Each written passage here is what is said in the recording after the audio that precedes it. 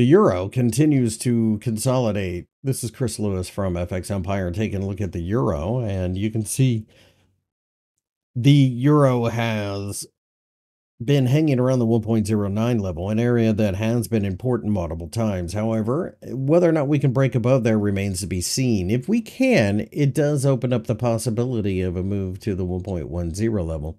That's the top of a larger consolidation area. And underneath, I think the 1.07 level is an area that offers significant support. The 50 day EMA underneath is support just along with the 200 day EMA is. All things being equal, I think this is a market that will continue to see a lot of noisy behavior.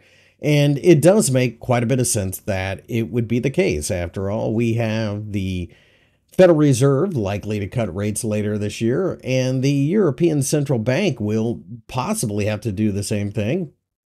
Probably have to do the same thing, quite frankly due to the fact that the uh, German economy has dropped a bit. And that, of course, is a scenario where it brings down enough of the economy that they are going to have to do something. With this, I think you have a pretty range bound year ahead, and it does make a certain amount of sense that we just drift around aimlessly. We're right in the middle of this overall consolidation pattern. So, you could make an argument that we are either at fair value or near fair value.